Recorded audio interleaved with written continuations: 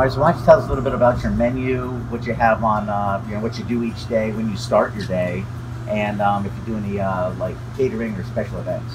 Yeah, well, our menu is basically set up like a tr- traditional barbecue restaurant. You know, you have your meat by the pound, you have your sides you pick separately, and your desserts you pick separately.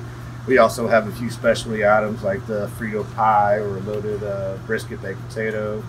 Um, but we're known for our brisket. You know, we do it the way they do it in Texas. We don't cut any corners. It's all wood fired. Um, If I may, I've had the brisket, the ham sandwich, and the Mexican corn. They were all fantastic. So I'm sorry. Go ahead. so you know our, our day actually starts the day before.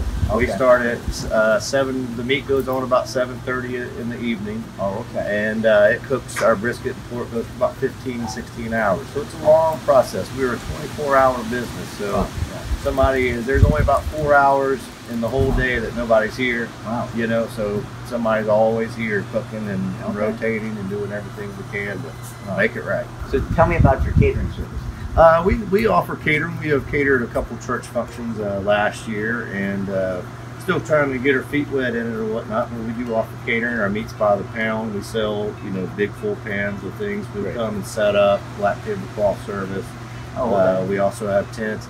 We're currently trying to get the food trailer up to uh, health inspection just to be able to uh, carry the trailer out. I was going to ask. know? To take it to special Yeah, events take it and to so forth? events and Yeah. stuff like that. So we're really looking forward to that.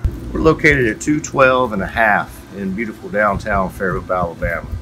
Uh, if you're coming into Fairhope, we're approximately one block west of Church Street. We're kind of hid back in a little alley behind Running Wild and a hair salon. But uh, you know, you can find us. If you can't see us, you can definitely smell the smoke. And by the way, we do have great music down here at the TexarBama. We have a lot of country western swing, a lot of opportunities for you to come out and dance and have a good time. My name's Mark Davis. I'm with uh, Point Real Estate. If uh, you ever need to buy or sell a home, give me a call. And if you ever want great barbecue, Come come to on down. TexarBama Barbecue.